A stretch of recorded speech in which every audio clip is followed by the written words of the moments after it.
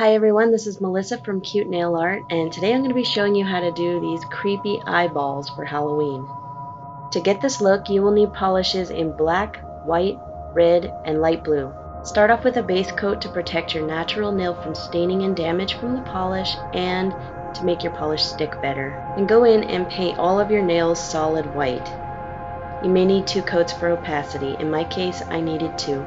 Allow the white paint to dry. Now take a large dotting tool with your light blue paint and make a large dot in the center of your nail. Now you're going to take your detail brush with some red polish and make random squiggly lines all around the eye. These should all be out in the white area. Kind of creates that red bulging blood vessel look.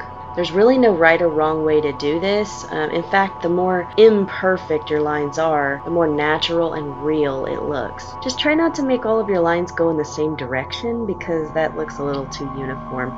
You want to purposely, intentionally make them go in all crazy weird directions. Repeat this on all five nails. Now take a dotting tool, dip it in black polish, and make a pupil in the center of the blue. Again, do this with all your nails.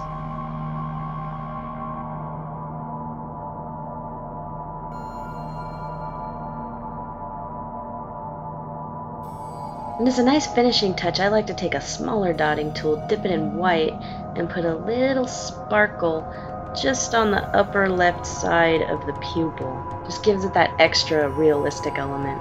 Let these set for a couple of minutes and then go over all your nails with a fast dry top coat. That'll even out your design, make it nice and shiny, and protect it from chipping. Thank you for watching and have a great Halloween.